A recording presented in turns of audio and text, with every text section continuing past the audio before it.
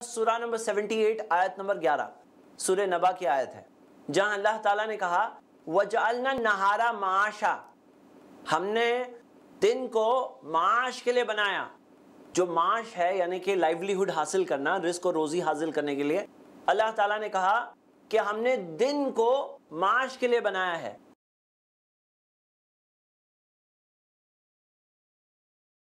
जब मैंने ये आयत कुरान की एक हमारे भाई हैं, उन्हें सुनाया, पिछले दो दिन पहले की बात है। उनका सवाल आया कि आज तो लोग नाइट में भी काम करते हैं, रात को माश के लिए इस्तेमाल करते हैं, जो ग्लोबलाइजेशन का ज़माना है, नाइट शिफ्ट वगैरह होती है लोगों की तो रात में भी लोग काम करते हैं। अल्लाह ताला ने कहा, हमने दिन को माश के लिए बनाया, और उनका सवाल है कि आज बहुत सारे लोग हैं जो अपना माश रात में हासिल करते हैं, नाइट शिफ्ट करके हासिल करते हैं। इस सवाल का जवाब कौन बताएगा? यहाँ नाइट में काम हो रहा था अल्टीमेटली कहीं दिन में काम हो रहा है। तो वो दिन की जो शिफ्ट है तो ग्लोबलाइजेशन की वजह से वो नाइट में यहाँ काम कर रहे हैं। और ऑलमोस्ट काम इसीलिए हो रहा है कि कहीं पे डे शिफ्ट चल रही है। ड्यू टू टाइम चेंजेस हो रहा है। जजाकल्ला खैर डिस्कशन में ये बहुत अच्छा बेनिफिट होता है कि जो पॉइंट्स मैंने सोचा था उसके अलावा ही कोई पॉइंट मिलता है। इन्होंने पॉइंट ये बताया कि जहाँ पर एक इंसान नाइट में काम कर रहा है तो कहीं ना कहीं डे भी है। है ना? तो वो डे से ही कनेक्शन है उस माश का। ये एक बात इन्होंने अच्छी बात बताई। जी और कौन बता सकता है?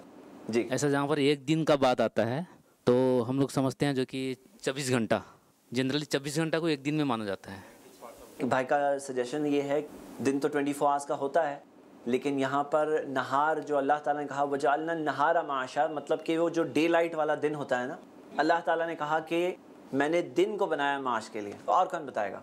जजाकला खैर ट्राई कर रहे हैं ना तो ये अच्छी चीज़ है अल्हम्दुलिल्लाह और हर कोई कुछ बात जो आपको समझ में आती है आप अपने तौर पे फ्रीली कह सकते हैं। कोई मसला नहीं है। जी।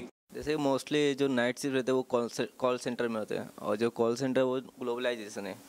तो देखेंगे जैसे कि आज इंडिया में जैसे कि नाइट है तो कहीं और डे में रहेगा और जो कॉल सेंटर का जो नेटवर्क रहता है वो वर्ल्ड रहता है। तो हिसाब से। माशा इसमें गौर करने की बात क्या है? दो बातों पर गौर करें। पहली बात अगर हम देखें आप इंटरनेट पर भी स्टडी कर सकते हैं। सिर्फ़ सर्च करें bad effects on health of night shift night shift के बैड इफेक्ट्स हेल्थ पर क्या होते हैं? तो हम देखते हैं कि इतने सारी लिस्ट है बैड इफेक्ट्स जो हेल्थ पर होते हैं, अगर कोई नाइट शिफ्ट कंटिन्यूसली करता है तो। जैसे हमारी बॉडी के अंदर एक क्लॉक होता है, जिसे सिरकैडियन क्लॉक कहते हैं, जो एक रिदम होती है उसकी। बॉडी का टेम्परेचर नाइट जब होती है तो बॉडी खुद अपने टेम्परेचर को कम करने लगती है। हार्ट बीट्स का रेट कम होने लगता है। और बॉडी रेडी होती है सोने के लिए। अब बॉडी जब रेडी हो रही है सोने के लिए, तब कोई सो नहीं रहा है। और जब जागने के लिए बॉडी रेडी होती है बॉडी का टेम्परेचर बढ़ता है हार्ट बीट्स रेडी हो जाती है तो तभी कोई सोने के लिए जा रहा है। तो इसके अंदर कई सारे प्रॉब्लम्स होते हैं। नंबर वन हार्ट डिजीजेज होने लगती है। नंबर टू ओबेसिटी और डिजेशन के प्रॉब्लम्स होने लगते हैं। हमारा डाइजेशन भी उसी हिसाब से सिंक्रोनाइज होता है। हम देखते हैं उसी तरह कई लोगों को स्लीपलेसनेस स्लीपिंग डिसऑर्डर्स आ जाते हैं, क्योंकि दिन में नींद नहीं हो पाती है। और कई सारे प्रॉब्लम्स होते हैं जो कई सारे हेल्थ के हजार्ड्स जो लोगों को हो रहे हैं, जो कंटिन्यूस नाइट शिफ्ट करते हैं। और और एक चीज़, ये टेबल और ये कुर्सी मिसाल लेते हैं। ये कुर्सी बैठने के लिए है। ये सोने के लिए नहीं बनी है। लेकिन कोई अगर इस पर सोना भी चाहता है तो सो सकता है ना किसी ना किसी तरह से। झुका वुका मार सकता है। लेकिन ये सोने के लिए बनी नहीं है।